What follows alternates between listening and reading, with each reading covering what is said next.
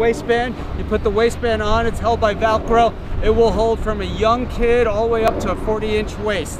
Now also, you have a ball gloves. So it has four Velcro straps. You put the ball in, this will hold a size three, four, and five ball. Now the cord will kick out to 18 feet. You can see there's a lot of give to this, so you can do a lot of practice. You're kicking, passing, shooting, whatever you want. This is for young kids